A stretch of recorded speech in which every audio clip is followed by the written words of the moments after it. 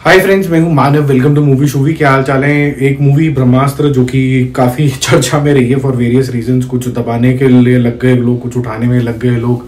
और कुछ लोगों ने बोला कि जी यार लेट्स बी न्यूट्रल जो कि मूवी शूवी का भी एक स्टैंड था कि पहले देख लेते हैं, फिर उसके बाद डिसाइड कर लेंगे कि अच्छी है कि बुरी है।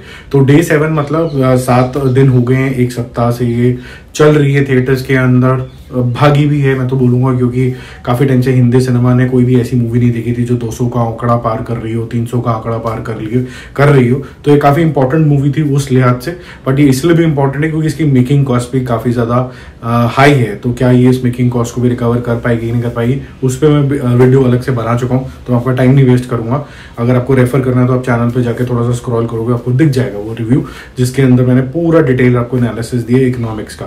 बहरहाल मैंने आपको कल बताया था डे सिक्स के अंदर करीबन ग्यारह करोड़ रुपए की कमाई हुई थी। तो टोटल था वो 165 करोड़ रुपीस, हो गया था फ्रॉम 150 करोड़ रुपीस और क्लोज टू 200 करोड़ उसका ग्रॉस हो गया था 194 और क्लोज टू 300 हो गया था 280 करोड़। लगभग लगभग world wide collection world wide अच्छा रुझान इसकी तरफ़ आया है। आज भी फिर से ड्रॉप आया है, वो है करीबन 8.5 करोड़ रुपीस का। तो आप ये कह सकते हैं कि मंडे से लेकर थर्सडे तक अभी 50 परसेंट ड्रॉप आ चुका है from 16 crore to 8.5 crore rupees. तो क्या ये कंसर्न है, मैं बोलूँगा कंसर्न है भी और नहीं भी। ऐसा ड्रॉप होता है कई बार, लेकिन फ्राइडे सैटरडे संडे में ये फिर से जंप लेगा।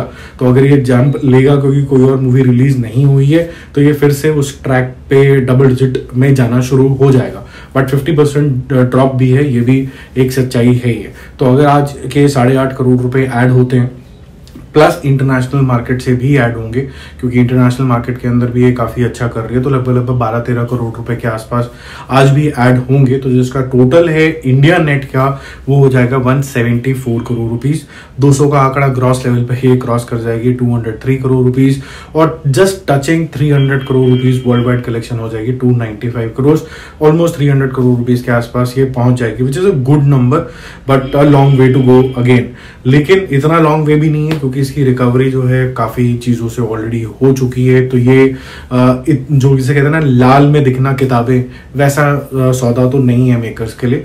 क्योंकि साउथ से भी थोड़ा डिसेंट सा कंट्रीब्यूशन आया है। साउथ मार्केट में करीबन सत्रह करोड़ रुपए का बिज़नेस हुआ है और Telugu market alone has contributed about thirteen crore rupees तो ये अच्छे डायरेक्शन के अंदर मोटा मोटा मूवी है जितनी उम्मीद थी उतना तो नहीं है बट मैं ये बोल सकता हूँ कि मुझे ये उम्मीद थी कि आज की स्टेज के हिसाब से ये लगभग लगभग 400 के आसपास होनी चाहिए थी, इसका life time business 600 crore rupees के आसपास होता।